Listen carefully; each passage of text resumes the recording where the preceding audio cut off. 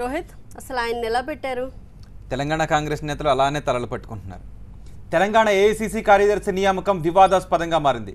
ముగ్గురు ఇన్ఛార్జ్ కార్యదర్శుల్లో ఒకరైన కృష్ణన్ శ్రీనివాసన్ వివాదానికి కేంద్ర బిందువయ్యారు. కేరళకు చెందిన కృష్ణ నియామకం వెనుక సోనియా అల్లుడు రాబర్ట్ వదేర కీలక పాత్ర పోషించారంటూ వార్తలు రావడంతో సంచలనం రేగింది. రాజకీయాలతో సంబంధం లేని వ్యక్తిని కార్యదర్శిగా ఎలా నియమిస్తారంటూ కాంగ్రెస్లోనే ప్రశ్నలు వినిపిస్తున్నాయి. కాంగ్రెస్ పార్టీలో నియామకాల వెంటే వివాదాలుంటాయి. తెలంగాణకు ముగ్గురు ఇన్ఛార్జ్ కార్యదర్శులను నియమించారు. వారు ముగ్గురు హైదరాబాద్ వచ్చి ఇన్ఛార్జ్ ప్రధాన కార్యదర్శి రామచంద్ర కుంతియా సారథ్యంలో పీసీసీ సమావేశంలో కూడా పాల్గొన్నారు. ముగ్గురు కార్యదర్శుల్లో ఉత్తర తెలంగాణ ఇన్ఛార్జిగా నియమితులైన కేరళకు చెందిన కృష్ణన్ శ్రీనివాసన్ చుట్టూ ఇప్పుడు వివాదాలు ముసురుకుంటున్నాయి.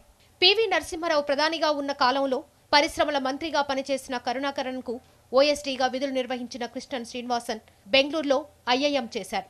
మంత్రి దగ్గర ఉన్న కాలంలో రాబర్ట్ వదేరా ప్రియాంక గాంధీతో ఏర్పడిన స్నేహం వారి వ్యాపారాల్లో భాగస్వామిని చేసింది.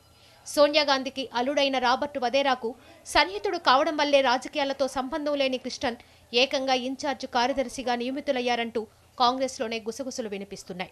కృష్ణన్ నియామకం కాంగ్రెస్ సీనియర్లలో అసంతృప్తి రేపింది.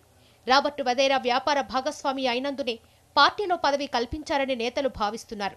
అయితే వివిధ వర్గాల నిపుణులను పార్టీ సేవలకు వినియోగించుకోవాలన్న ఉద్దేశంతోనే కృష్ణన్ ఏఐసీసీ కార్యదర్శిగా నియమించారని పార్టీ వర్గాలంటున్నాయి నిపుణులను నియమించుకోవాలంటే పార్టీలో అనేక విభాగాలున్నాయని క్షేత్రస్థాయితో సంబంధం లేని వ్యక్తిని ఒక రాష్ట్రంలో ఇన్ఛార్జిగా ఎలా నియమిస్తారని ప్రశ్నలు వినిపిస్తున్నాయి.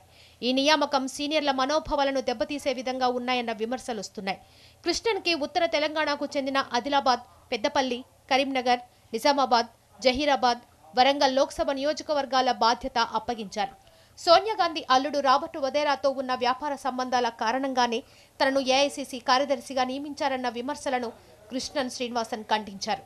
తనను నియమించింది పార్టీ అధ్యక్షుడు రాహుల్ గాంధీయేనని పార్టీలో ఆయన నిర్ణయమే ఫైనల్ అని అంటున్నారు తెలంగాణ కొత్తగా నియమితులైన ఏఐసీసీ కార్యదర్శి Krishnan That has been a decision taken by the Congress President. It is the ultimate authority of the Congress President to decide who his secretaries are. And uh, every congressman will respect that. Only this post come, came uh, from Robert. Nothing. All business. ఏదేమైనా కాంగ్రెస్లో వివాదాలు కొత్త కాదు వాటిని సమర్థించుకోవడం కూడా నాయకత్వానికి బాగా తెలుసు. కృష్ణన్ శ్రీనివాసన్ నియామకంపై ఢిల్లీ స్థాయిలో విమర్శలు వినిపిస్తున్నా తెలంగాణలో మాత్రం ఎవరు నోరు మెదపకపోవడం విశేషం.